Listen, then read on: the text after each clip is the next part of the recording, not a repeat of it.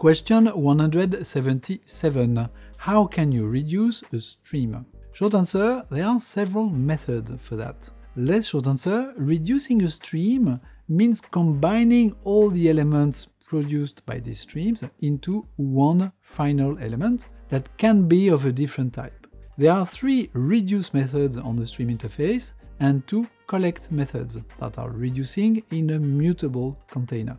Int-stream, long-stream and double streams have only two reduce and one collect, but they have a sum, a min and a max, and also a nifty summary statistics method that does the max, the mean, the count, the average, all in one pass over your data. One last word, some reduce methods return an optional, and there is a very good reason for that, but that will be for another time.